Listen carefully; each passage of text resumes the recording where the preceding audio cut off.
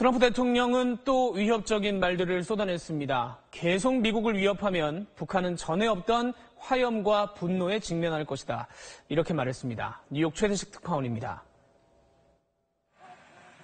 여름 휴가 중인 트럼프 대통령은 뉴저지주 자신의 골프장에서 기자들과 만나 김정은이 정상 상태를 넘어 매우 위협적이라며 말문을 열었습니다.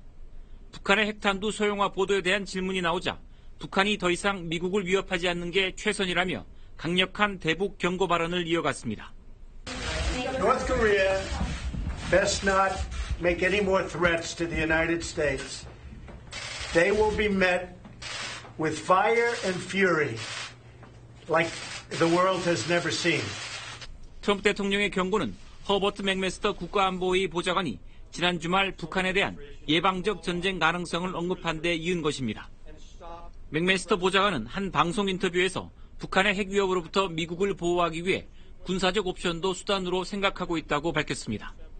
워싱턴 포스트는 맥메스터의 발언과 관련해 새로운 다자간 협상에서부터 미군 전술핵의 한반도 재도입까지 광범위한 옵션이 논의되고 있다는 뜻이라고 전했습니다.